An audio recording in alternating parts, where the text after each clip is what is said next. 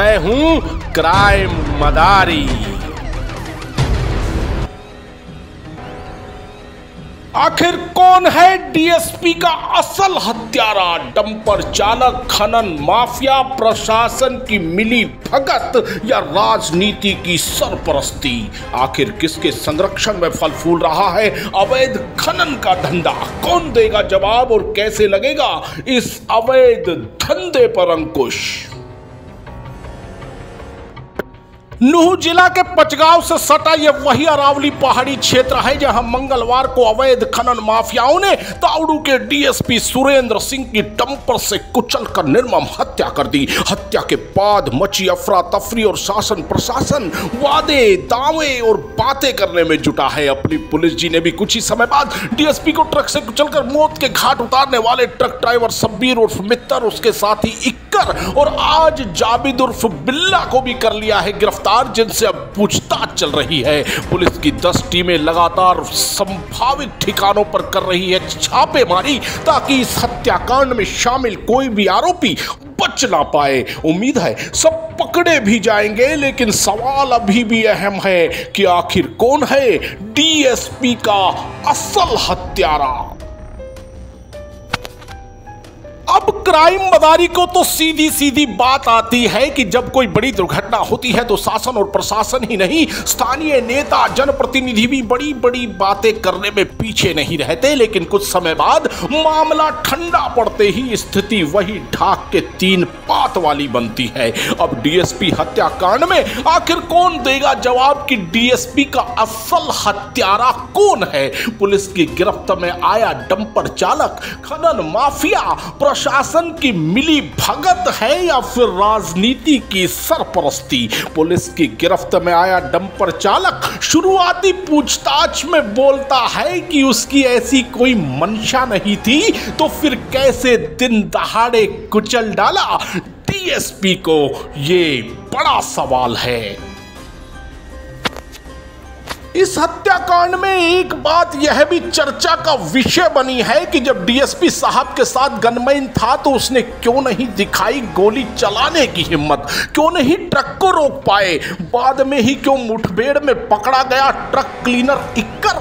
ये कई ऐसे ज्वलंत सवाल हैं जिनके जवाब अभी तक नहीं मिले और ये सवाल इस हत्याकांड को और पेचीदा बनाने के लिए काफ़ी है, क्योंकि डीएसपी की हत्या करना केवल ट्रक ड्राइवर की हिम्मत तो नहीं हो सकती, क्योंकि पुलिस और प्रशासन से खनन माफियाओं की मिली भगत के किस्से पहले से ही जग ज़ाहिर है। तो फिर किसका था इशारा?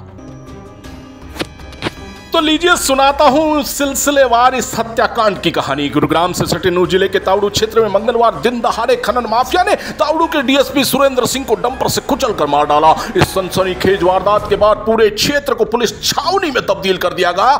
आईजी, एसपी ही नहीं, डीजीपी पी के अग्रवाल भी पहुँचे नूह डीजीपी ने साफ़ कहा, आरोपियों को किसी सूरत में बख्शा नहीं जाएगा।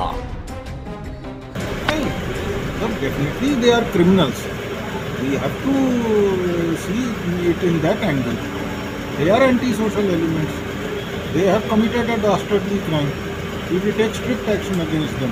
One of the accused has been arrested. There was an encounter, an exchange of gunfire, and uh, the remaining accused will also be nabbed very soon. How many remain? The driver is there and two, three more will be there. Further He- details will come after the interrogation. Who is injured is Ikkar. He he was the driver. He is the cleaner. Cleaner. cleaner? Yeah, he is the cleaner. Police जी भी पूरी हरकत में रही और कुछ ही देर बाद truck के cleaner Ikkar को मुठभेड़ के बाद दर्द पहुँचा। यही नहीं, डीएसपी सुरेंद्र सिंह की हत्या के मुख्य आरोपी डंपर चालक सब्बीर उर्फ़ मित्तर को भी राजस्थान के भरतपुर जिला के गाँव गनगोरा से इंस्पेक्टर नरेश यादव के नेतृत्व में नूह क्राइम ब्रांच की टीम ने अगले दिन ही कर लिया अरेस्ट। और आज क्राइम ब्रांच के इंस्पेक्टर नरेश यादव ने मुख्य आरोपी डंपर चालक के एक मददगार जाबिद उर्फ़ बिल्ला को भी किया है गिरफ़्तार और इनकी खंगाली जा रही है। कुंडली। देर रात ही मुख्य आरोपी के अरेस्ट होने के बाद एसपी नुह वरुण सिंगला ने मीडिया को दी थी जानकारी।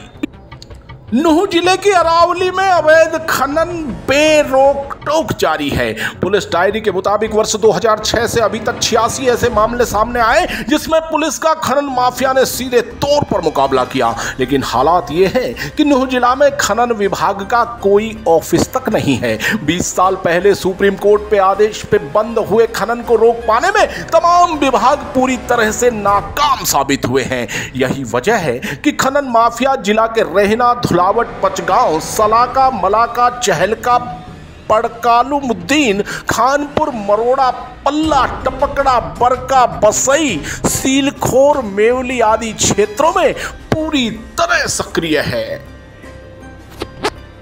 तो साहेबान डीएसपी सुरेंद्र सिंह हत्याकांड में तीन आरोपी पकड़े गए। सरकार ने तुरंत लीपा पोती स्कीम लागू कर डीएसपी को शहीद का दर्जा, परिजन को नौकरी और एक करोड़ की आर्थिक सहायता की कर दी घोषणा। न्यायिक जाँच भी होगी, लेकिन कौन ढूंढेगा डीएसपी के असल हत्यारे को? शहीद का दर्जा, घोषणाओं की चाशनी और घड़ियाली आँसू।